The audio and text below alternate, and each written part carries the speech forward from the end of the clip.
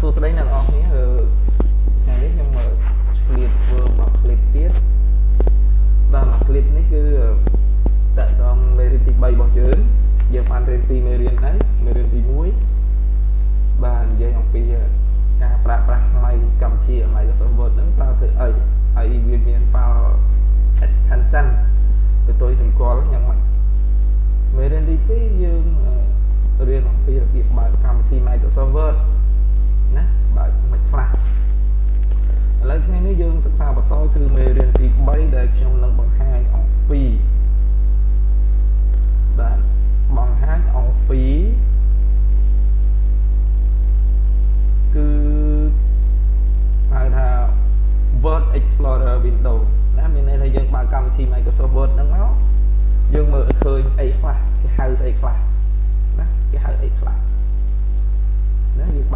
ឃើញយើងតើអាមួយមួយហៅអីឥឡូវកុំឲ្យខាតពេលយូរយើងចាប់ផ្ដើមរៀនតែម្ដងឥឡូវយើងខ្ញុំបានបើកកម្មវិធី Microsoft Word ហើយអ្នកនរអាចបើកបានតាមខ្ញុំមកខ្ញុំបង្ហាញអញ្ចឹងនៅពេលបើក Microsoft Word មកយើងឃើញផ្ទៃទាំងមូលហ្នឹងអញ្ចឹងខ្ញុំបង្ហាញ អ្នកទាំងអស់គ្នាឲ្យស្គាល់កន្លែងមួយមួយកន្លែងមួយមួយអញ្ចឹងខ្ញុំបង្ហាញអ្នកទាំងអស់គ្នាកន្លែងនេះមួយកន្លែងនេះមួយបាទគឺកន្លែងនេះបាទចំណុចនេះចំណុចមួយនេះយើងហៅថាមានអ្នកណាស្គាល់យើងហៅថាអីគេបាទយើងហៅថា quick access toolbar បា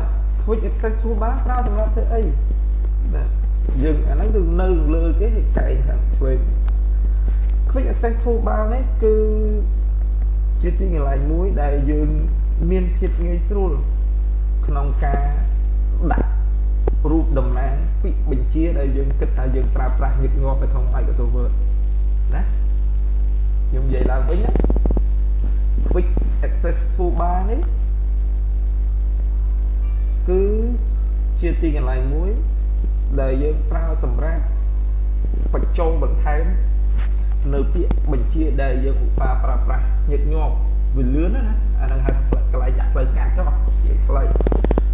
បើយើងទៅឡើង Office មកស្រាប់វាមាន4អញ្ចឹងបាទវាមានកន្លែងរូបតំណាង Microsoft Word នេះរូបប៊ូតុង save បាទ icon save redo ហើយនិង undo បងណាកន្លែងនេះហើយយើងអាច add បញ្ចូលឧទាហរណ៍ថាយើងចង់ print យើងចុចលើវាយកពាក្យ print preview ឬក៏ quick print មកអញ្ចឹងយើងចុច quick print វាចេញរូបម៉ាស៊ីន print នេះមួយអញ្ចឹងនៅពេលដែល print គឺយើងចុចលើរូបតំណែងហ្នឹងវា print ដល់ស្វ័យប្រវត្តិយើងចុចទៅយើងឃើញមានប៉ុណ្ណឹងប៉ុន្តែយើងអាច add ថែមអ្វីដែលយើងចង់បញ្ចូលទៀតអញ្ចឹងរបៀបបញ្ចូលនេះខ្ញុំគូ clip នៅ chapter 7ចឹងតើតើបញ្ហាផ្សេងផ្សេងអ្នកនរអាច note ទុក បើសិនជាខ្ញុំអត់បានបង្ហាញអស់អាច comment មកក្នុងផង review ផងណាយើងអាចថែមបញ្ចូលនៅអ្វីដែលយើងគិតថាយើងប្រើប្រាស់ញឹកញាប់ដូចជា spelling grammar ឬក៏ print preview យើងអត់មានយើងដាក់មកយើងអាច print preview បានឃើញណាបាទហ្នឹងអាហ្នឹងហៅថា quick access tool បាទបន្ទាប់មកទៀតនៅទន្ទឹមគ្នានឹងដែរយើងត្រូវស្គាល់មួយទៀតកន្លែងនេះបាទ កន្លែងនេះបាទនៅចំកណ្ដាលនេះតែម្ដងបាទនៅចំកណ្ដាលនេះតែម្ដងយើងហៅថាអីគេបាទចំកណ្ដាលនេះយើងហៅថា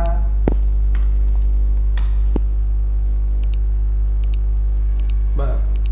ចំកណ្ដាលនេះយើងហៅថា title បាទបាទ title bar title bar ប្រើសម្រាប់ធ្វើអី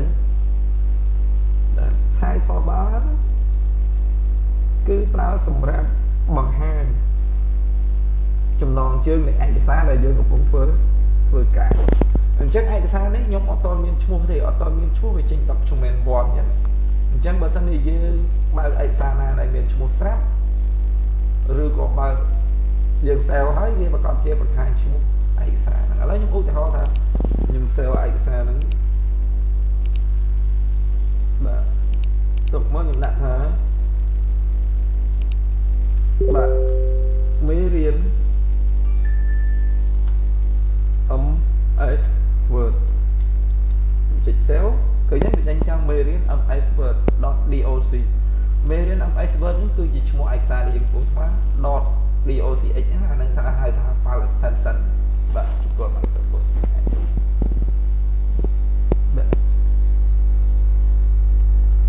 មួយទៀតកន្លែងដែលសំខាន់មួយទៀត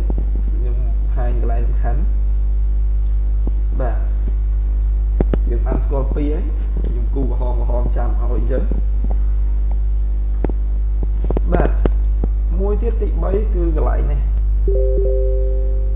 បាទខ្ញុំសារ Telegram ផ្ញើមកច្រើនព្រោះសាញ់មួយទៀតកន្លែងសញ្ញាសួរនេះបាទសញ្ញាសួរនេះ សញ្ញាសួរនេះប្រើសម្រាប់ធ្វើអីមានន័យថាកន្លែង head icon បើសិនជាយើងធ្វើការទៅយើងឆ្ងល់អីយើងអត់ចេះអីគេយើងបើកចុចសញ្ញាសួរហើយយើងវាយវាយបញ្ចូលមកពាក្យចំនួនដែលយើងចង់សួរហ្នឹងបាទរូបតំណាងសញ្ញាសួរនឹងឯងចូលមកទៀតមកកែងនេះមាន3មាន4នឹងញ៉ាខ្វាយនេះអញ្ចឹងកន្លែងនេះគឺយើងចុចទៅគេដាក់ថា auto high ribbon បាទតែអ្នកអស់ហ្នឹងអត់ទាន់ស្គាល់ស្អី ribbon ទេខ្ញុំអត់ទាន់បង្ហាញអញ្ចឹងអានេះមានថា auto high ribbon គឺយើង tick ឬក៏ show tape អីចឹងទៅបាទនេះបាត់ tape show tape វិញបាទណាបាត់បោះលេងយល់អត់ចឹងយើងត្រូវធ្វើម៉េចចឹងកន្លែងនេះមានន័យថាសម្រាប់ auto high ribbon សូថេតឬក៏លាក់ថេតនោះណាឬក៏សូខ្មែរហ្នឹងចឹងកន្លែងនេះយើងកុំលេងវាហើយយើងមិនទាន់ស្គាល់ស្អីគេ ribbon មិនទាន់ស្គាល់អីថេ តទេថេតគេ comment កន្លែងនេះមានយ៉ាងម៉េចមានន័យថានៅពេលដែលយើងធ្វើការអីផ្សេងទៀតយើងអាចមានវាវាមានន័យថាយើងមិនបាច់បិទទេយើងគាត់ទៅទម្លាក់វាមកខាងក្រៅទម្លាក់វាខាងក្រៅយើងអាចបើកឯកសារអីផ្សេងទៀតធ្វើបាទបាទណាបន្ទាប់មកទៀតអានេះមានន័យយើងចង់ប្រូមួយទូចប៉ុណ្ណេះឬក៏ព្រីវិញបាទ ដល់ពេលកន្លែងនេះមានន័យយើងបិទឯកសារ Microsoft Word យើងចាំតែម្ដងណារូបតំណាងទាំង4កន្លែងនេះគឺសម្រាប់ ribbon display option ribbon display option មានថាពាក់ព័ន្ធការងារ ribbon ថាយកស្គាល់ស្គាល់អីទៅ ribbon ទេអានេះសម្រាប់ minimize គឺមានថាប្រូមទម្លាក់បាត់ឈឹងនៅក្រោមនេះហើយធ្វើការងារផ្សេងដល់ពេលនេះមានន័យថាវា restore down នឹង app មានន័យថាចុចទៅ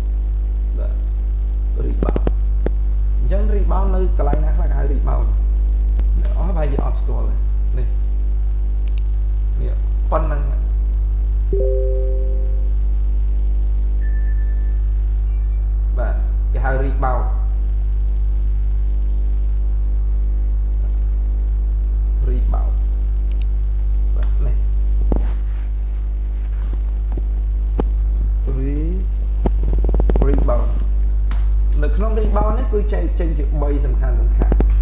បាទ rebound នេះគឺតកតងទៅនឹងការរៀបចំនៃវិជានានាដែលមានសមាសភាព3បាទ rebound ហ្នឹងអាបាក់បាក់ដុំបើប៉ុណ្ណឹងហៅ rebound និយាយអំនិយម rebound ថា rebound ហ្នឹងគឺជាការរៀបចំនៃបណ្ដុំពាក្យបញ្ជាដែលមានសមាសភាព3សំខាន់ៗបាទសមាសភាព3សំខាន់ៗទី1គឺមាន ដែលយើងហៅថា tape បាទ tape មិញយើងឃើញ tape អីគេ tape បាទបាទ tape ហ្នឹងនេះខ្ញុំបង្ហាញបាទ tape ហ្នឹងគឺវាស្ថិតនៅខាងលើគេបំផុតនៃ rebound អញ្ចឹងខ្ញុំគូវងប៉ុណ្ណឹង rebound អញ្ចឹងលើគេបំផុតនៃ rebound នេះបាទ rebound អឺ tape នេះគឺជាបាទគឺជាបណ្ដុំបាទគឺជាបណ្ដុំនៃក្រមពាក្យបញ្ជាគឺជាបណ្ដុំនៃក្រមពាក្យបញ្ជាអញ្ចឹង tape មាន tape អីខ្លះបាទអញ្ចឹងនៅក្នុងមាន file tape បាទ file tape ហ្នឹងវាមានម្ដុំពាក្យបញ្ជាវាទៀត home tape មានម្ដុំពាក្យបញ្ជាវាទៀត insert មានម្ដុំពាក្យបញ្ជាវាទៀត design take layout reference mailing review view ហើយនេះ tape acrobat ដែលយើងតម្លើង acrobat ហើយតែបន្ថែម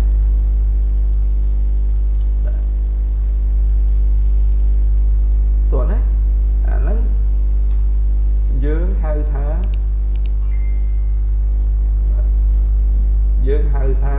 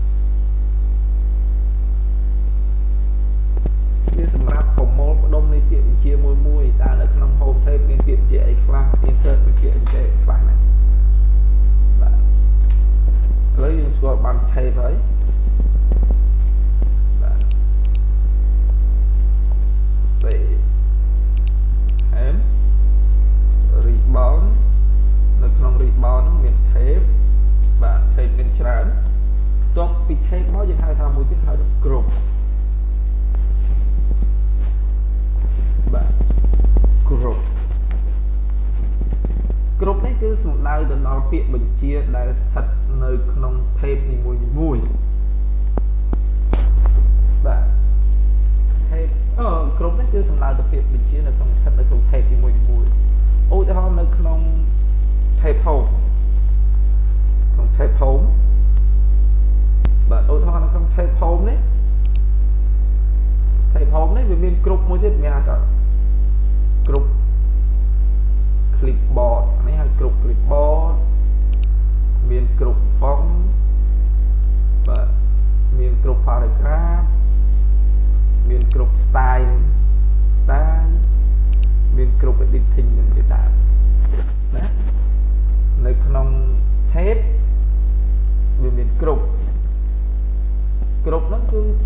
ប្រមូលផ្ដុំនៃពាក្យបញ្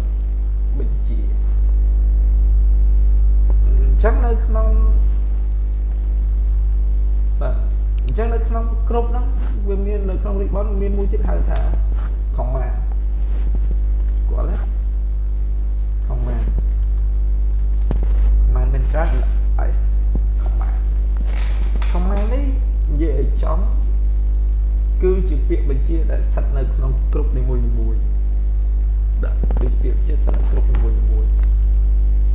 ឧទាហរណ៍អសប៊ីនេះ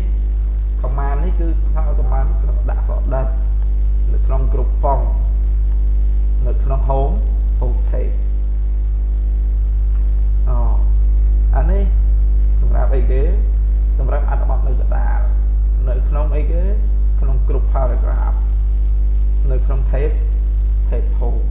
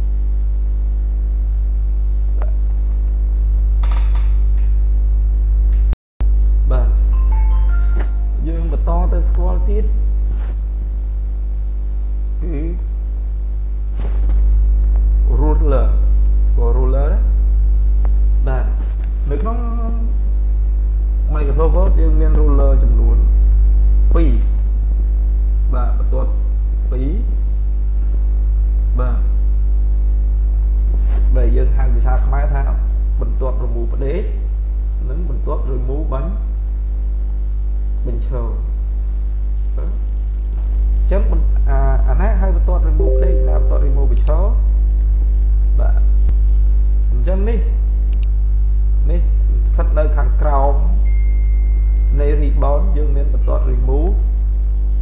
អូបន្ទាត់ remove សុំទោសបាទអឺយើងមានបន្ទាត់ផ្ដេកហើយនេះយើងមានបន្ទាត់បច្ឆោណាបន្ទាត់ផ្ដេកនិងបន្ទាត់បច្ឆោសម្រាប់យើងក្រិតខ្នាតធ្វើការងារប៉ុន្តែបើសិនជាយើងបរិយាការងារយើងឲ្យធំឲ្យធំយើងកើតឡើងនៅរបាពីរទៀត បាទបាទអានេះហៅថា ruler ruler ណាទៅមកយើងមានរបាពីរទៀតនៅពេលយើងព្រីកឯកសារធំ គឺយើងមានរបារមូផ្ដេកនេះសម្រាប់រំកិលឆ្វេងស្ដាំយើងនិយាយហើយបាទនេះគឺរបារមូផ្ដេកអានេះបារមូបឆោសម្រាប់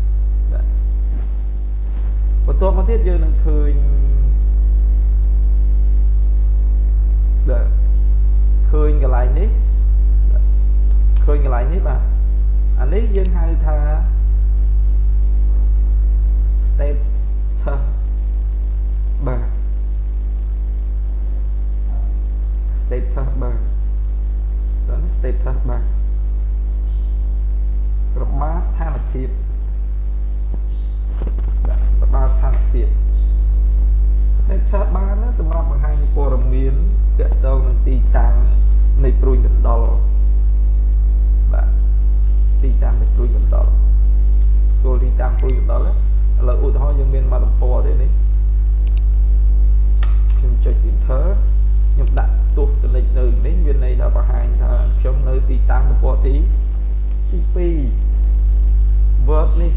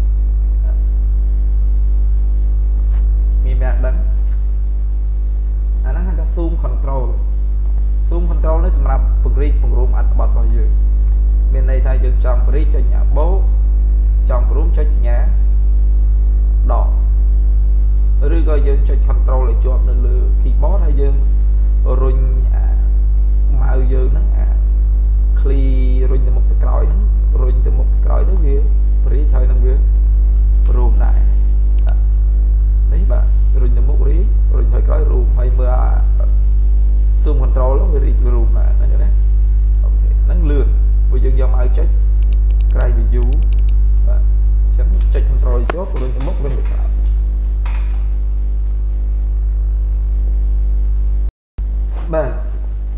យើងមកស្គាល់បន្ថែមទៀតយើងមកស្គាល់បន្ថែមទៀតបាទបាទស្គាល់បន្ថែមទៀតស្គាល់ទៅលើអីគេបាទស្គាល់ទៅលើ document area នៅក្នុង Word 2010អាកន្លែង text boundary នេះវាពេញផ្ទៃទំព័រប៉ុន្តែបើពេល Office 2013 16 19គឺវា text boundary វាជុំវិញបន្ទាត់ អញ្ចឹងអាកន្លែងនេះបាទកន្លែងណាកន្លែងនេះបាទកន្លែងនេះគឺជាហៅថា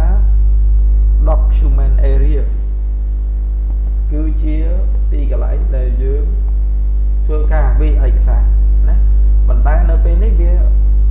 តិចបណ្ណារីវាសល់ប៉ុណ្ណេះទេអញ្ចឹងនៅពេលដែលយើងបាយឯកសារគឺយើងចាប់ start ពីកន្លែងហ្នឹងទៅពីកន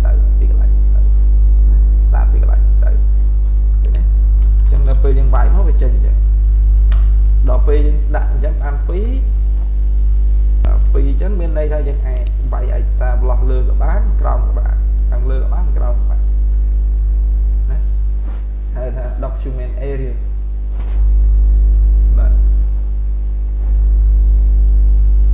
តមកទៀតអ្វីដែលយើងត្រូវស្គាល់មួយទៅកន្លែងនេះនៅក្នុងគ្រប់មួយមួយគ្រប់មួយមួយកែងខាងស្ដាំ ខាងក្រោមយើងមានសញ្ញាតូចមួយព្រួយតូចមួយនៅកែងខាងស្ដាំខាងក្រោមហ្នឹងគេហៅថា dialog box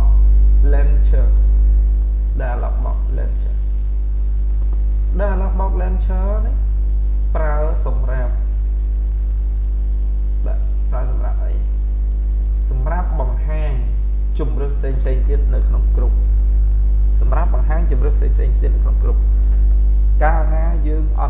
យើងរូបតំណាងនេះបាទបាទពាក្យបញ្ជាដែលយើងហៅថា command មួយមួយមាននឹងនឹងហើយយើងអត់គ្រប់ទេយើងអាចចុចកន្លែងនេះចូលទៅផ្ទាល់ឬបន់បន្ថែមឧទាហរណ៍នៅនេះ underline មានអក្សរកាត់មាន subscript superscript អីហ្នឹងតែដល់ពេលយើងចូលលើរូបតំណាង ចុចលើកមួយមួយមកវាបរិយាថែមទៀតវាមាន font វាមានតិចអិចបាច់មានអីក្នុង advance វាមានអីចឹងទៀតណាអញ្ចឹងដែល logbox launcher ប្រើសម្រាប់ចូលទៅក្នុងជំរឿនផ្សេងផ្សេងទៀតនៅក្នុងគ្រប់នីមួយនីមួយនេះដែរបាទចឹងតើតង Word Word Explorer ហ្នឹងខ្ញុំបង្ហាញមានចំនួន ប៉ុណ្ណឹងឥឡូវខ្ញុំសរសេរសង្ខេបឲ្យឡើងវិញហើយអ្នកនរគ្នាត្រូវគិតបាទអញ្ចឹងខ្ញុំបង្ហាញអ្នកនរគ្នាមុនដំបូងគេគឺគឺអីគេមានអ្នកដឹងទេបាទ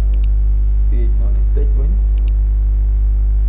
ខ្ញុំបង្ហាញមុនគេគឺ quick access tool bar មិនអញ្ចឹងទេ quick access tool tool